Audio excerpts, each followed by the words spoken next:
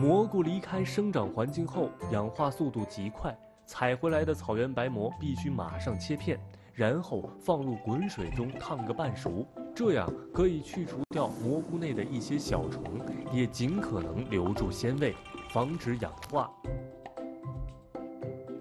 在草原上，与蘑菇搭配的主要食材就是新鲜的羊腿肉。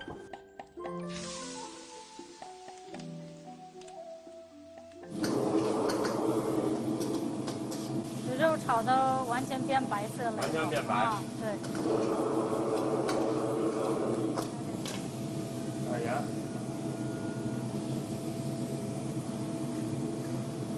再炒一会儿，是不是？这羊肉啊你看一煸，啊这羊油一出，这香味儿香味儿就是不是出来了。差不多了吧？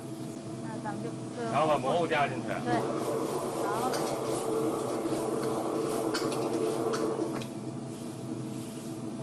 呃蘑菇是完全可以把这个羊刚才多余的油都吸都，吸进去，对，所以这两个味道就会有这种融合，是不是？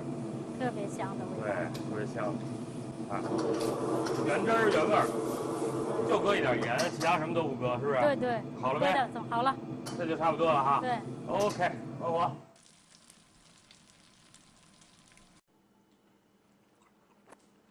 嗯，嗯，真好吃。羊肉还特别嫩。嗯嗯，再尝一块蘑菇。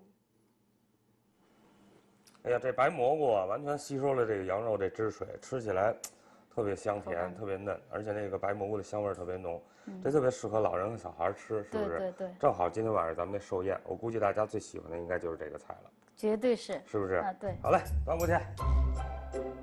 草原白蘑质地松软，羊肉鲜而不膻，一口下去鲜香满舌，回味无穷。